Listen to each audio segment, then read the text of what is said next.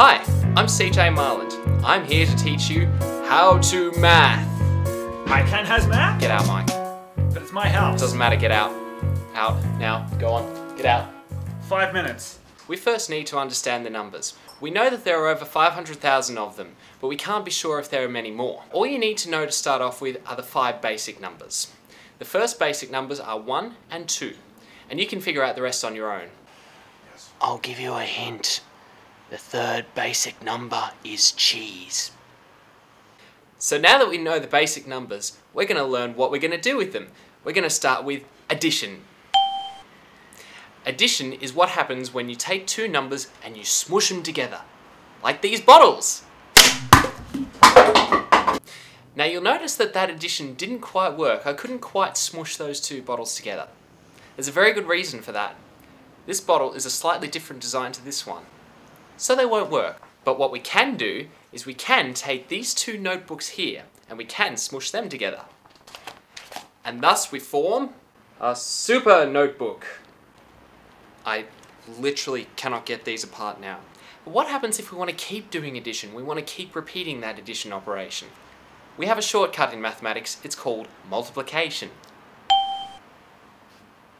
Multiplication is when you smush things together over and over and over again. So, instead of adding two bottles to get two bottles, we can do it twice or three times. For example, if we want to take two bottles and two bottles and add them together, we're going to get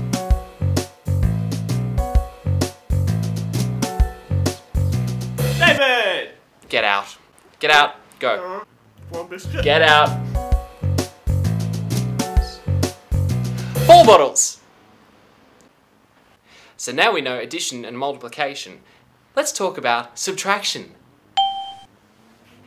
Subtraction is a little bit like addition, except instead of smushing things together, we're going to rip them apart. Like this piece of paper. We're going to subtract it. And again, and again, and again, and again. See how easy subtraction is? That was my maths homework. So if subtraction is the opposite of addition, then division is the opposite of multiplication. You already saw how difficult multiplication was. I'm going to do this division thing here, but you're not going to try and replicate it. Otherwise the universe might explode. Trust me, I know I've been responsible for ending the universe several times. For which I greatly apologise. Division. So now we're going to learn one more basic function of mathematics, the square root. Ding dong.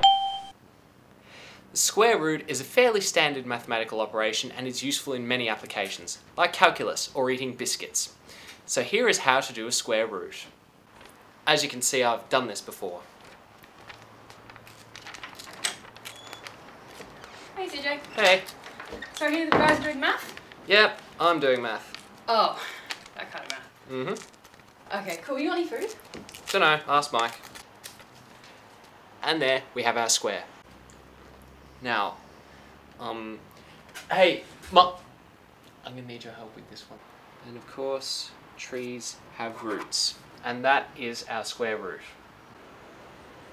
So now we've covered all five of the basic mathematical operations addition, division, multiplication, subtraction, and the square root. We've also learned what the five basic numbers are. Next session, we're going to learn calculus, geometry, trigonometry, and how to use this mathematical machine.